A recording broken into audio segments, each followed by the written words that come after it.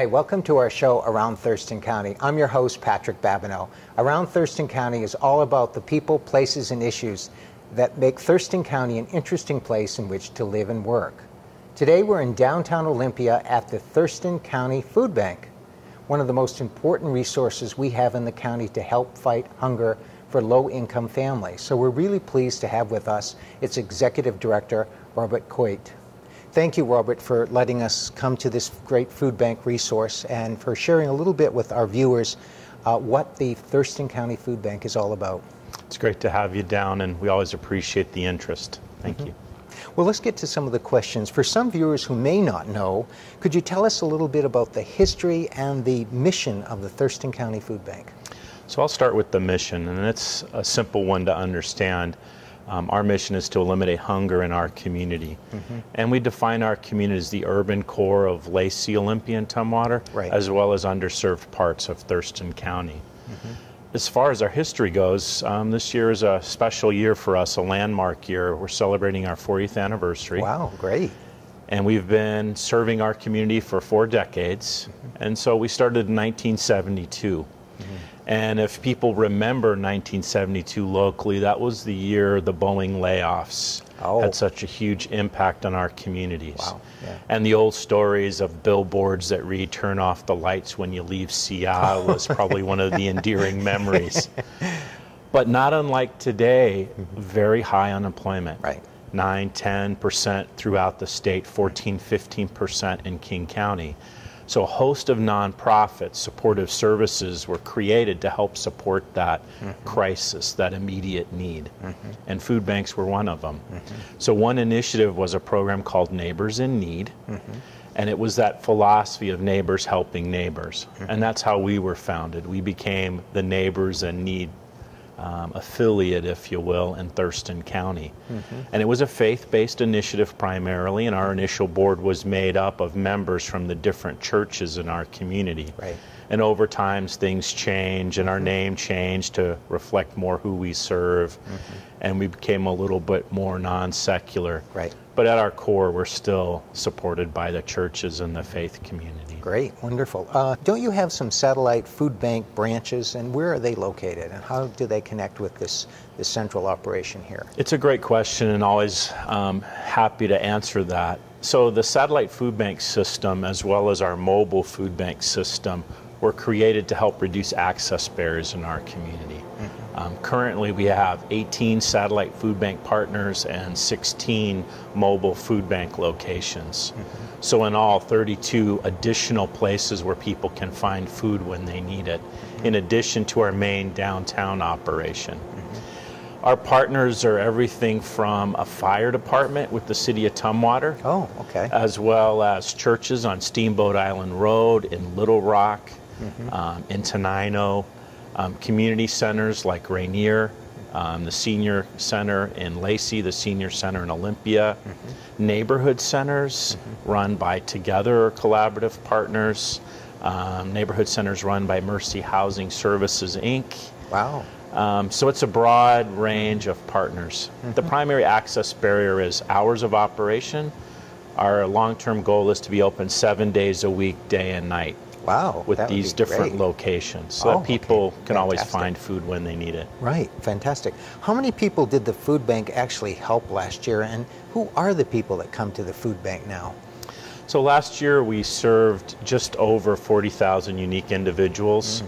Which represents about 17% of Thurston County's population. Mm. Wow. And about 15,000 households. Mm. Um, we had over 175,000 visits last year, and that reflects how often those people use our services. Mm-hmm. As far as the face go, it runs the gamut. Mm-hmm. Um, 50% of our clients are children under the age of 16. Mm-hmm. Obviously, the parents come, not right. the kids, to get the food. Right. Um, about 10% currently are older Americans, but that's the fastest growing segment of those we serve. It is, wow. Mm-hmm. Hmm. And then in the middle, we have our adults, if you will. And of those, 27% are employed. Wow. Um, often seasonal jobs or part time jobs or just mm-hmm. Um, the vast majority are families, without a doubt. And how has this prolonged recession that we've lived through affected the need for food, and how has the food bank been able to respond to that? So our growth the last two or three years is primarily due to the recession, and not something we really planned for. Right. Um, kind of change in demographics is pretty easy to see um, in a couple different ways. One, there's a long line at the downtown location, and anyone using the food bank for the first time is relatively easy to spot. Um, they don't make eye contact. Oh, They're uncomfortable. They're coming for the first time. Their expectations are based on stories or the newspaper. They don't really know what to expect. Mm. And so we've tried to address that by having staff that actually work the line to mm-hmm. help people with that first visit, to Right. help with that transition into the service world. Mm-hmm. The other big change is an increase in size of households. Hmm. Um, when we say household, we mean people living in the same home. Right. But they might actually be two sisters with their own families moved in together, hmm. might be grandparents with grandchildren moving in together, or hmm. parents with children moving back home. Wow. So there are these blended households. Right. That in part's been driven by basically mortgage issues, um, inability to pay the rent. And so our household sizes are much larger than they used to be. because smaller families or uh, different types of families have to pool their resources and live together, so that creates a larger household. That's one of the big changes. Who are the volunteers that help the food bank? I know a number of people really care about this food bank and volunteer. Who are some of these volunteers? So it's a good representation of the community we live in. So clearly, we have a large number of faith based groups that come down, um, both as individuals as well as teams. Um, a good example would be our Four Kids Backpack program. On a monthly basis, has Temple Beth Hatfiloh as Oh, a team right. that comes down, and they bring about 35 members of their synagogue and build backpacks. We have uh, Christian church that comes down with their youth. We have high schools that come down as groups, generally service clubs like Key Club or the leadership team. Um, we have some workplace um, employment training programs here. Um, we have a large group of retirees that volunteer, and they all have a great range of backgrounds doctors, attorneys, truck drivers, um, store managers, retired state employees, retired educators. Pretty much you name it, we've got that experience in the house. Great. Um, do you work with other agencies downtown that also help the poor? We do, as a matter of fact. Um, there is a really strong peer support network for other helping community members. Um, and most of it's around making appropriate referrals. Um, a person that comes to the food bank doesn't come just for food, they have other challenges. And our job is to make sure we can help them access other resources in the community. Um, we focus first on food resources, but often they come with housing needs or medical needs. And so having strong positive relationships with our other um, nonprofit community members, our peers, helps these families, helps these individuals be stable, help them out of the cycle. Um, we're also blessed to have as our next door neighbor the Union Gospel Mission. And, you know, it comes with all the pros and cons of being neighbors. Um, but our clients are their clients, their clients are our clients. And so we work collaboratively in a number of ways. Great, great. So if someone comes and they need food, you provide that, but if they need medical assistance or, or housing referral or something, you're able to refer them to the appropriate agency. That's exactly correct. I actually have a staff person, that's her primary function. In addition, she can actually help them sign up for the basic food program, what's known as food stamps in other parts of the country. Right. Um, as well as help her si- people sign up for other resources. Currently, we're doing some referrals to help people get um, refrigerators. Oh, okay. And that's a partnership with Puget Sound Energy that has a grant program right now. So if you have an older, inefficient refrigerator, they're willing to swap it out with a new, very energy efficient refrigerator. There's obviously guidelines and rules, but it's in our own best interest to help people get all the resources they can. Right. And also, if there are other, uh, if people go to other agencies that help low income folks, uh, they refer to them to you and to this food bank, right? It's true. In fact, about 20, 25% of our clients are referred to us from other support services. So there's a great sense of collaboration in the area. I believe that to be true. In fact, it's necessary anymore. Yeah, yeah, that's right. Um, you mentioned something about uh, senior citizens. We have a, a, a large senior citizen population here in Thurston County, and it's projected to keep growing. Uh, how are seniors involved in the food bank? Well, you know, from a volunteer standpoint, they're probably our core volunteers that we see on a routine daily basis. Um, those are the folks we see on a weekly or a monthly um, schedule. Um, and really, they're unpaid staff. Right. They actually supplant, if you will, paid positions. We don't really have entry level positions in the food bank. Mm-hmm. Those are all filled with people willing to donate their time. Wonderful. everything from people that help put together bank deposits, answer the telephone, mm-hmm. provide the direct client services, sort the food, all of those roles are filled with volunteers. Mm-hmm. The weekend work, the evening work, the food drives, that allows us to bring in the general community. Mm-hmm. But the day to day, Monday through Friday, mm-hmm. that's done by retired seniors. And you mentioned something a little earlier that up to, did you say 10% of the client population are seniors? Currently. Wow. And I would say this year it'll probably be closer to 14% as an 14%. example. Wow. Mm-hmm. And is there a reason for that? Why is that happening, do you think? Well, one is there's a growing population boom on the horizon. Right. And the other issue, in my opinion, is just fixed incomes not able to hmm. keep up with rising food costs hmm. primarily. Right. Um, and when you look at food costs as it relates to inflation, it's much higher than the standard rate.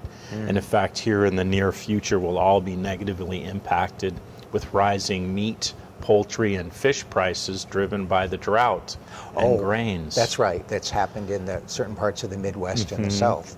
Wow.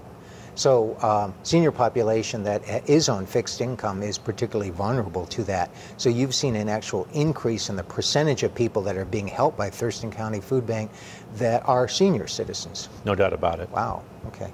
And um, don't you have a new program with local restaurants who want to help out, who want to help the, the food bank? Wh- What is that program? So it's going to roll out December, the time of this show. Um, we've been playing around with pieces and elements of it for the last couple months. But the primary task has been to remodel part of the facility to put in a certified kitchen. Oh, okay. And the basic idea is to solicit support from restaurants, caterers, institutional cookers, um, hospitals, schools, um, hotel, hospitality industry. And they generally donate food in large pans or uh-huh. large Yes, quantities. that's right.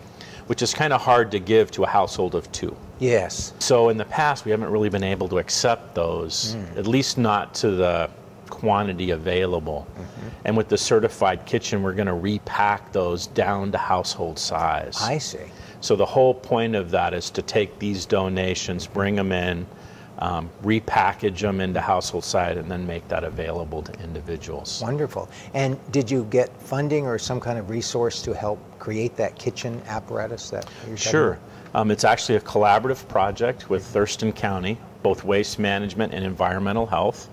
Um, it's a collaborative grant written to the Department of Ecology. Wow. Okay. And sort of one of the prime motivators is the idea that the United States wastes a lot of food. Yes. The USDA says around 45% of the food produced gets thrown away. Really, it's that high now. It is very high. Wow. And so this is one way to divert food from the waste stream. Mm-hmm. We're going to call this program Restaurant Rescue. Yeah. Because the idea is to, you know, rescue this food and make Right. it available to individuals To people first. that need it. Wow, that's a wonderful idea. Yeah, and it's a strong proposal. It includes um, a vehicle with a refrigeration unit so that we pick it up, handle it appropriately in transit, keep it frozen and chilled here, and distribute it that way. Because food safety is primary concern. That's right. Right. Wonderful. Um, so, the food bank offers, from what I understand, when I was looking at your website, and and what is your website again? What's that address? It's thurstoncountyfoodbank.org. Great, and that's a great website for people to check out. Um, it mentioned that you offered uh, canned foods, and you also offered at times fresh produce. Uh, do local farms in the area, because there are a lot of local farmers, um, do they work with the food bank? And if they do, how do they work with it? So produce has been a focus for the food bank for the last four years. Mm-hmm.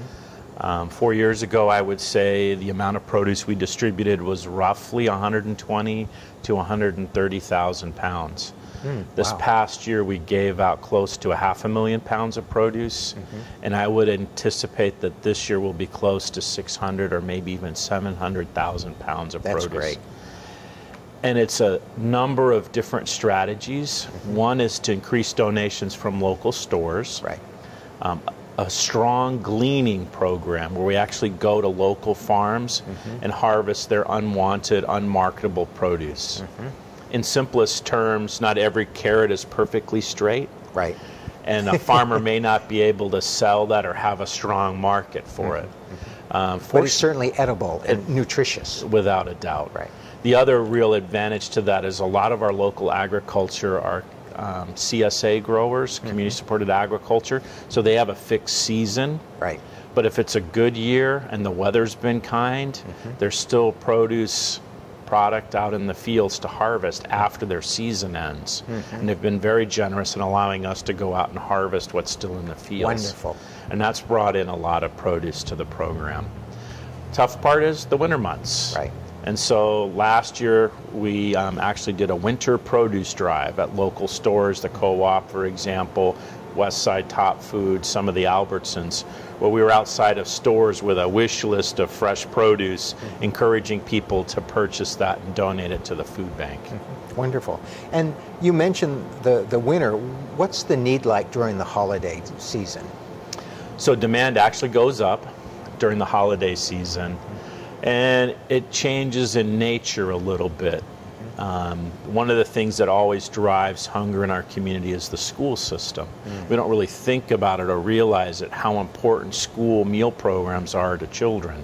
So whenever there's a vacation, whether it's summer vacation, the winter break, spring break, it puts a big demand on a household because they lose the support of the free and reduced school Oh, lunch and breakfast right. program. Right. So we see a strong shift in dynamics whenever school is out, Mm-hmm. with an increase in the number of families that ask for assistance, Mm-hmm. particularly during the summer months, but also very true during the winter break and spring break. Mm-hmm. So that's one of the big shifts. And the weather drives things too. People don't have gardens or they don't have the resources they might have as part of support. Mm-hmm. So we actually see increased number of visits during the winter months. Wow. Um, if people want to volunteer and help out, how can they get in touch with you and the food bank? So, the best place to start is the website. Mm-hmm. It gives people a sense of our organization, the types of programs we run. Right. And that's always helpful when you want to volunteer. Maybe you have a passion for children, so you want to volunteer in one of the programs that mm-hmm. cater to children specifically, or you have a passion for produce and you want to help us do different things to bring in more produce into Right. the food bank. Um, we do orientations slash tours one to two times a month. Okay, great. And the best way to find out when the next scheduled one is to send an email to our volunteer manager. And her email address is volunteers at thurstoncountyfoodbank.org. great. And there's a link on the website as well that'll get a message to us. What are some of the ways that people can help provide money, actual uh, uh, funding, to the food bank through uh, payroll deductions? Uh, uh, and what are some of these programs that you have? So the most common ways that people can give through payroll deduction is if you're a state employee through the state's combined fund drive. Right. and that's a strong resource. And we're blessed, and we're usually in the top five or ten agencies um, campaign wide because of the strong support of state employees. It's also important to realize that as a retired state employee, you can also give through payroll deduction through the combined fund drive. Not to be outdone, the federal government has its own equivalent called the combined federated campaign Oh. where a federal employee can also donate through payroll deduction to local charities. And that's true if you're a post office employee, a man or woman in uniform. Oh, that's right. Or any one of a dozen different federal agencies in our community, like um, Department of Agriculture, um, Rural Resources. There are federal employees even in Olympia. That's right. That's right. And then the last is, of course, the most common one for those of us in the private sector, and that's the United Way.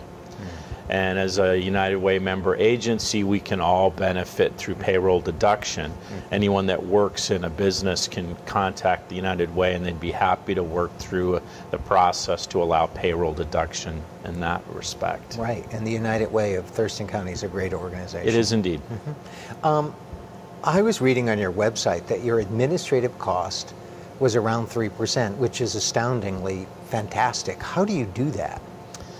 Well, it's a great question. So currently this year it's 2%. 2%. Wow. 2%. It's even lower. It is even lower. Um, and it varies a little bit from year to year, but the highest is generally 3 So there's really three main reasons. One of them is volunteers. Um, we'll take anyone's skill set, whether it's a high functioning accountant or someone that's done accounting their whole life and it's the last thing they want to do is accounting. But some of our administrative functions are done by volunteers, and that reduces our administrative overhead without a doubt. Um, basically, the administrative overhead in the Thurston County Food Bank's myself and a bookkeeper. Really? Wow. This is amazing. Um, a second real fact is we don't do fundraising events. Um, no disrespect to auctions, they're a great way to raise money and awareness, mm-hmm. but they're expensive to put on. They can and there's a that's lot of cost associated with doing that, Right. which then adds to your administrative overhead. Aha, I see. So fundraising costs can sometimes, you know, be a negative in the mm-hmm. world of administrative costs. So mm-hmm. we've chosen not to do that. Mm-hmm. Most of our funding is through these annual campaigns done by the United Way, the Combined Fund Drive, and the Combined Federated Campaign. So we try to partner with those organizations to bring funding into the food bank. And of course, strong community support. So volunteers are very important. People who are willing to come and provide their time and their energy and their skill on, on any level, and people who can uh, either provide a one-time or a repeated uh, financial contribution through these various programs that you're talking about really help make this happen. One of the things they often write in a thank you card is that we could not serve so many without the support of the community. And mm-hmm. that really is the fact. Mm-hmm. The volunteer support is phenomenal. It's what keeps our admin costs down. Mm-hmm. We don't have entry level positions. My staff manage volunteers, they don't do the work themselves. And I can always tell when someone's a little short-handed with volunteers because there's a little more stress in their eyes because we rely on volunteers to get the work done. Wonderful. Uh, is there anything else you'd like to share with our viewers today? I think just the always all important thank you. Um, we really couldn't serve so many. 170,000 visits last year. That's 170,000 bags of food in another way. Wow. We sent out just shy of 6 million pounds of food last year through our main location and the system as a whole. A half of that was donated by the members of our community, the businesses in our community. Um, we're making a difference every day, and it's because of you. Thanks. That's fantastic. Uh, we always ask at the end of our shows, um, what are one or two of the things you like about living in Thurston County? I guess one of the things I like about living in Thurston County is our unique, eclectic, and diverse nature. Yes. So, one example of that would be a community where both the procession of the species and lake fair can live side by side mm-hmm. and be equally valued by different members. That's right. And I have to be frank, the other thing I like, it is the state capital. Mm-hmm. To some, it feels like a big city. To me, it's a small town, and I dearly love that aspect of our community. You do get the opportunity to meet people, um, get to know people, and over time, pretty much everyone, if you want to do that. Yes. Um, thank you very much for uh, spending some time today with us uh, about the Thurston County Food Bank. We really appreciate that. Thank you, Patrick. Um, the Thurston County Food Bank here in Olympia and its satellite programs and its volunteers is a very important part and a major way that we help fight hunger among low income people here in Thurston County. We are so happy to have been able to spend some time with Robert Coit, who is the executive director. And we'd like you please to check out uh, their website. Uh, they have a lot of things going on and a lot of uh, cool volunteers involved in this process. Thanks for watching our show today. Uh, you can find us on Comcast Cable Channel 22 twice weekly, Mondays at 6:30 p.m. and Fridays at 5 p.m. You can also find our us on our Around Thurston County Facebook page and on our YouTube channel at www.youtube.com forward slash Around Thurston County. We look forward to seeing you again soon. Goodbye.